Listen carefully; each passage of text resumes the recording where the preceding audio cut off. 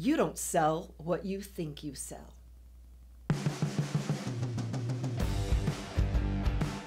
As an advisor, we think that we sell financial plans or we think that we sell specific investments. That's not what you sell.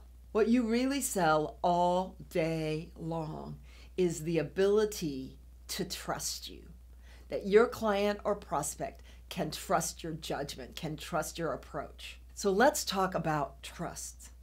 According to Stephen Covey in his book, The Speed of Trust, there are four key elements to trust. The first is integrity.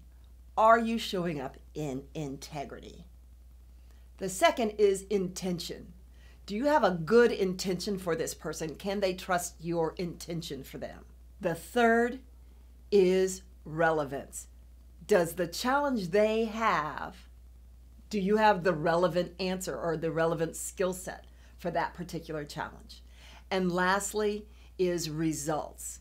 Can you show them results that they can believe in? So these are the four key elements of trust, which is what you really sell.